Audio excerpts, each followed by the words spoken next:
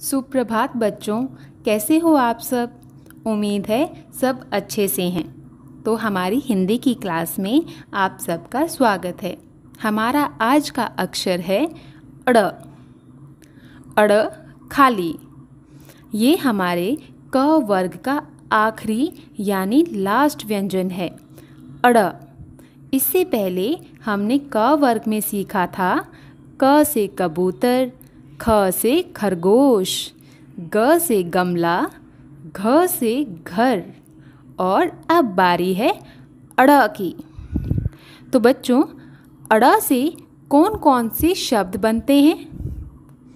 ओ ओ अड़ से तो कोई शब्द नहीं बनते, अड़ तो खाली होता है।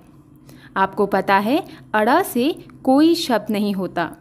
जैसे स्वर में आपने अह खाली सीखा था वैसे ही व्यंजन में अड़ा जो होता है, वो खाली होता है।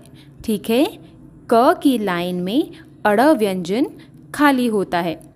उससे कोई भी शब्द नहीं बनता है। ठीक है? तो इसीलिए मैम ने भी अड़ से कोई शब्द नहीं बनाया।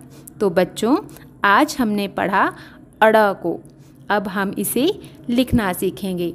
लेकिन पहले हम का वर्ग को एक बार रिवाइज कर लेते हैं, ठीक है? क से कबूतर, ख से खरगोश, ग से गमला, घ से घर, अड़ खाली, बजाओ ताली, अड़ खाली, बच्चों बजाओ ताली।